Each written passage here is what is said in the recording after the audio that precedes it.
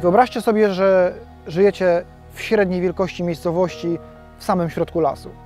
Miejscowość ma 200-letnią historię i to wszystko nagle jedną decyzją zostaje przekreślone i obraca się w nicość.